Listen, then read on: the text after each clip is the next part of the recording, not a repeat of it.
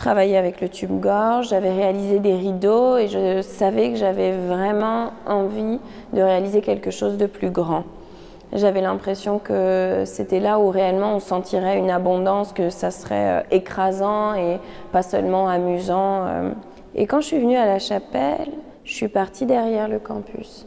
Et là, euh, bah, il y avait la mer. La chapelle, elle est située en face de la mer. Et si j'occupe le balcon et si je fais suspendre cette vague à partir du balcon, elle sera à contre-courant de la mer. Le processus, c'est une table avec plein de matières que j'aurais récoltées auparavant en me promenant.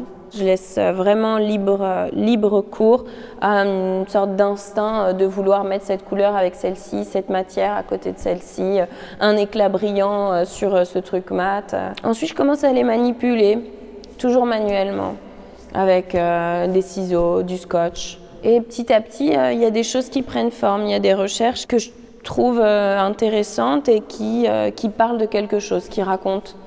On peut regarder ce, ce, rideau et se dire ah, il est très marrant, il est très festif, etc. Et, et y a cette, cette, deuxième lecture où, en fin de compte, c'est l'abondance complètement, l'abondance, la répétition, la fabrication en série. Et il y aura aussi un élément qui me permettra euh, de présenter un peu le, contexte créatif de, cette vague et de ces recherches. Et ça, ce sera un son. J'ai toute cette bibliothèque de sons et j'ai tout réécouté. J'ai refait des sons aussi pour ce projet. J'ai extrait plusieurs pistes sonores et je les ai agencées de manière assez aléatoire pour créer ce contexte.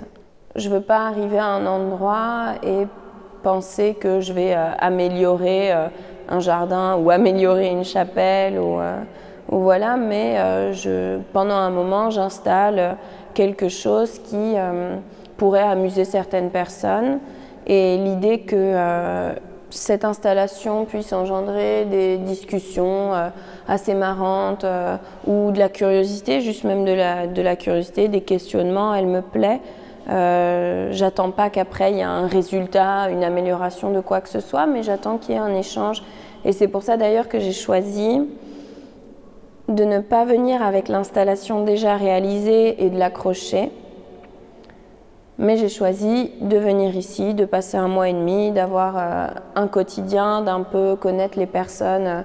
Et pour moi, c'est très important dans le processus de création.